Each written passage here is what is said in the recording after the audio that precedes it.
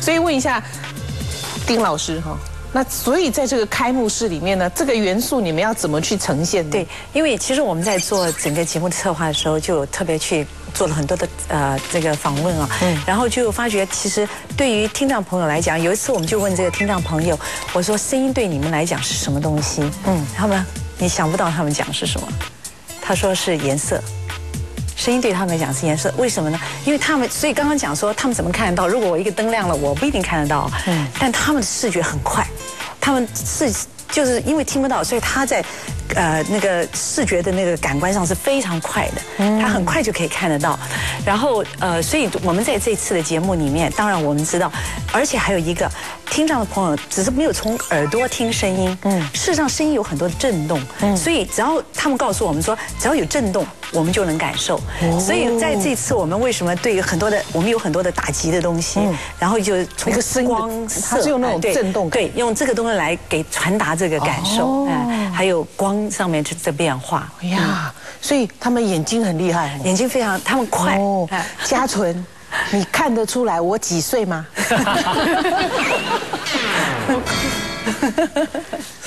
二十，眼睛真好，真厉害，这个眼力有够厉害，我喜欢听这样的朋友。哎呀，哈，所以他们感官跟我们的使用的不一样，对不对？哈，那问一下，就说在这样子的一个嗯表演者里面呢，动员的刚刚讲。很多人对不对？对，很多。我们大概有五千多位表演者，所以光发便当就疯了，对不对？这 真的是，呃，光是要怎么样，所有的人要到现场来，因为呃，因为我们田径场腹地很小，所以在整个策划里面，光是要策划整个的进场、出场、退场，就是一个大的学问。啊，门票都卖完了吗？全部卖完。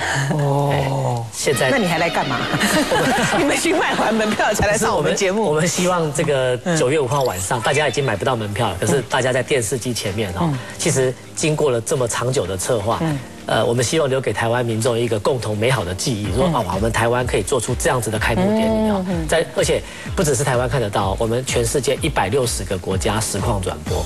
所以当天你插旗子有多重要吗？让台北可以，你知道，如果台北街头都是旗子，世界媒体一定来拍，你知道，台北就站出去了。你只要做这么一个小动作，你不是说台湾要走出去吗？你只要做这么一个小动作，台湾就走出去了，对不对？哈，很简单嘛，很简单啊，一点都不困难。而且而且坦白讲，这个过程里面，你看家属也要支持，对不对？哈，然后这个选手也这么认真，对不对？哈，长这么高也是要拼，对不对？哈，然后然后教练对。对不对哈？本来觉得不可能，也要把它拼出来。而且据说这支球队的平均年龄还蛮高的。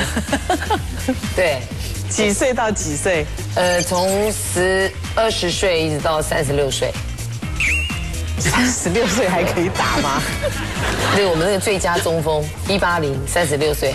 哦，你的女儿一百八十公分，哦，三十六岁，好，OK，赶快把握时间参加，对，下一届就四十岁，对，对呀，OK，好，所以没有办法嘛，对不对？哈，可他不会因为他自己年纪大，他就帮自己找借口。嗯，他们我觉得很可敬的就是，他们虽然年纪大，虽然不好，嗯，然后他们还觉得他们要拼，嗯，就很用力的去跑，很累他也跑，然后把声音叫出来，他也不知道他叫什么啊，我说，哎呀，真是。有介绍，接下来告诉他们，你们比赛的时候一定要出声音。然后就有队友跟我讲，教练，可是我们听不到。我说没关系，你听不到，别人听得到，你们就把你们的精神打出来。他说 OK。所以他现在打，所以你现在看到我们比赛一定很吵啊，对，很吵。所以你凶的时候他们都听不到啊，在看我的表情就知道。嗯，啊，他们有带助听器，在练习的时候他们都会带助听器。对，OK。那你赞美他们的时候，他们也听不到。我赞美他们，他听得到，厉害。我骂他们的时候，他听不到。我我要骂他，然后我要叫他，他都听不到。然后我要赞美他，我我赞美他，我讲的很小声。我跟你说，哎，他有进步，他不错。教练，你讲我吗？然后要不要说教练，谢谢。我说。这样他都听得到，怎么搞？我要叫他，我要讲他，我要纠正他的时候，他都不想听。哎，那是什么牌子的助听器？只听得到赞美那样子。对，这个助听器真的选择性的听到和不听到。呀，OK 哈。嘉纯，你几岁的时候听不到的？嗯，几岁的时候开始听不到？贪嘴、发高烧，然后五岁才发现的。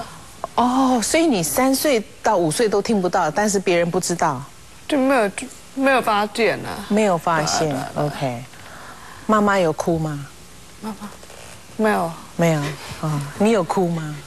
我不记得，不记得了，太久了。呀，啊，有被欺负吗？没有嘛有，就感觉是有一次老师就不知道我听听力有问题啊，然后就有一次户外教学啊，就走在第一个，然后也没有听到老师叫叫我们蹲下，嗯，然后老师一转转头啊，就以为我不尊重他，就打我一巴掌的，对对。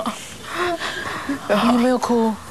有，马上蹲下来哭，然后同学就帮我讲话，就说我听不到。哦，所以那是新老师，所以不知道你的情况。老师有跟你有有说对不起吗？有有。哦，对。所以只有发生过这样一次。嗯，这一次啊，之后就没了。嗯哼。那你可以在一般的国中、一般的学校上课吗？可可以啊，可以。可以吗？那你就要要做前面，要做前面，做很前面，然后读老师的这个唇语，对不对？哦。啊，所以你从小要接受这个的训练，对不对？我妈有带我去那个学那个说话训练，说话训练。对，OK。所以上数学课也要读这个，物理课也是读这个。嗯。哦，啊，你都听得懂吗？看老师。看老师，因为有些老师讲话不清楚，我 就跟同学借笔记抄。你听不到他讲话不清楚有关系吗？听得到，可是没有听懂。啊，哦，他所谓的不清楚是嘴型不清楚哦。所以在养育这样的小孩过程里面，妈妈要扮演很重要的角色，对不对？对，回家要再复习。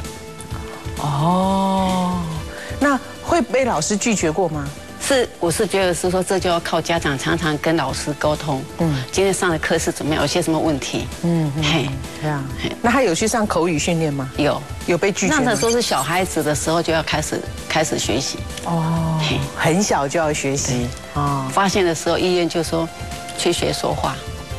嘿，你说打错针、吃错药之后，对，发现的那个听不到的时候，嗯，我说有什么补救办法吗？他说学说话。嗯，哎，就这样，所以就开始三十几年前呢，就开始这样子。对，去台大附健附健科的那个说话训练。嗯，啊，就去小孩子嘛，就先三十分钟。嗯，那我们家长在外面一个小窗户看，嗯，看老师怎么训练他。嗯，我们回去就如法炮制的这样子教他。嗯嗯，那有所谓的黄金时间吗？他们是说学说这应该三岁之前，嗯，就要赶快进行。嗯，因为他们就当时我也不是对医学我们不了解，但我当时也是怕是说会不会声带会不会萎缩，嗯，那你萎缩的话就很紧，比较发不出来。